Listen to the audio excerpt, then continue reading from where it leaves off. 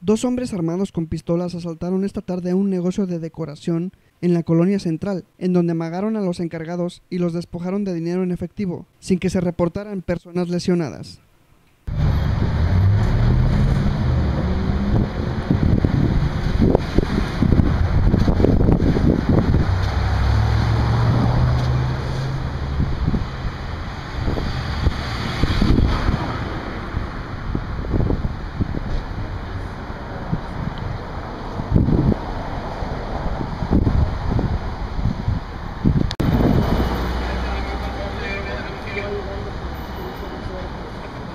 ¿Escuchaste, no? Ah, hay un 51. Lázaro Cárdenas se camina al mirador. 251. 251.